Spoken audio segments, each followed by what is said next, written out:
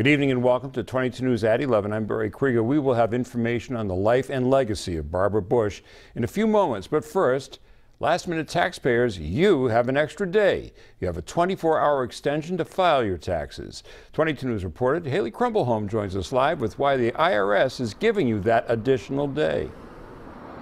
Liberty Tax Service here in West Springfield is open until midnight tonight, the original filing deadline. But you now have until midnight on Wednesday to get your taxes in. Today, part of the IRS website crashed. The direct pay page where people can pay their taxes directly from a bank account was down for most of the day because of a website glitch. IRS Acting Commissioner David Kautter issued a statement tonight apologizing for the inconvenience on the busiest tax day of the year.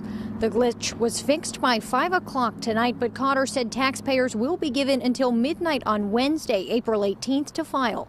If you file for an extension and you, you do still have to pay an, any estimated taxes that you owe. If you do file an extension, um, that at least avoids the if you will, non-filing fee, and you only have the non-payment fee. So that fee is only half a percent per month or part of a month. The fee for not filing your taxes is 5% per month or part of a month, up to 25% of your taxes. And there's nothing that taxpayers need to do in order to pay by Pay and file by midnight on Wednesday without penalty. If you need more time than that, you can still file for a six month extension. In West Springfield, Haley Crumbleholm, 22 News.